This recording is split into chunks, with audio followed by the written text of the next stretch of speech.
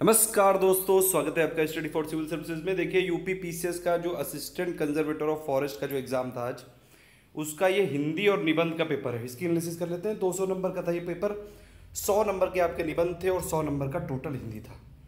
ठीक है, पहला तो ये एक पैराग्राफ आया है और इसमें जैसे यूपी पीसीएस मेंस में होता है, उसमें उसी की तरह क्वेश्चन आए हैं कि आपको टाइटल लिखना है, ठीक है? और प्लस इसमें कुछ क्वेश्चन पूछे गए हैं, एक वो लिखना है प्लस जो ये आपके अंडरलाइंड है, इसका पूरा अर्थ बताना है और प्लस संक्षेपण, यानी कि प्रेसी। यानी कि इसको समराइज करके अपने शब्दों में छोटा सा लिखना है। ठीक है? तो करीबन ये आपको ये समराइज ये प्रेसी वाला हो गया आपका हिसाब किताब। तो ये सब चीज़ें हैं इसमें और ये पहला वाला क्वेश्चन तो नॉर्मली है। ये क्वेश्चन था करीबन कितना आपका? दस और पच्चीस आपके हो गए पैंतीस और चालीस नंबर का था ये पेपर फिर बीस नंबर का आपका पत्र लेखन आया था कार्यालय आदेश और अधिसूचना। ठीक है? और उसमें अंतर करना था और कार्यालय देश का उदाहरण बताना था। ये नॉर्मल हिंदी वाले जो मैंने तीन बता रखे हैं, तीन बचे हुए हैं अभी, ये आपको कंप्लीट करा दिया जाएँगे धीरे धीरे यूपी पीसेस का जो मेन्स दे रहे हैं, उनके लिए मैंने बीच में काफ़ी सारे समराइज करके दिए भी थे ये। तो ये उसका है और प्लस एक इसमें आया दस नंबर का, हिंदी की शब्द संपदा का सोधारण परीक्षा करना था। ये है अलग से क्वेश्चन इसमें थोड़े, और कन्नौज बोली की विशेषताओं को बताना था दस नंबर में। तो ये कुछ दो बस यहाँ पे अलग हैं, बाकी लगभग पेपर सेम ही था जैसा यूपी पीसेस मेंस में आता है। फिर मुहावरे और लोकोक्तियाँ हैं पच्चीस नंबर की। पाँच मुहावरे हैं, इनको पहले आपको इनका अर्थ बताना है, फिर इसको वॉक में प्रयोग भी करना है और तद्भव निकले हैं इसके।